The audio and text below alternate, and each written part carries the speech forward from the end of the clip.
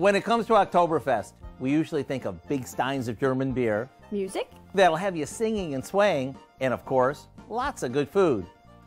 As for the music and the beer, I'm sure you've got that covered.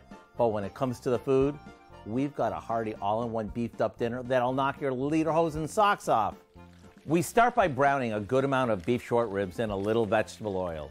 We do this in batches so we don't overcrowd the pan.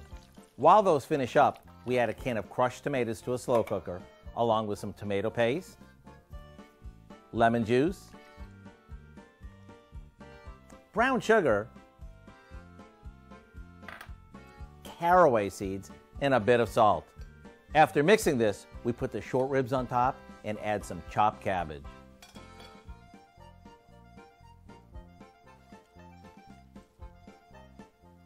Now all we do is cover it, set it to low, and let it cook all day until the meat is fall off the bone tender. Oh my gosh. I bet you've never tasted ribs as meaty and moist as these.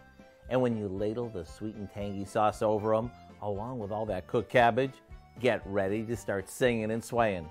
To get the recipe for our slow cooked short ribs and cabbage, simply visit our website. I'm Howard of the Mr. Food Test Kitchen with Kelly, whose beer is almost as big as she is, where today we found a fill you up way for you to say, Ach, das schmeckt. in other words, ooh, it's so good. Mm. Sip up.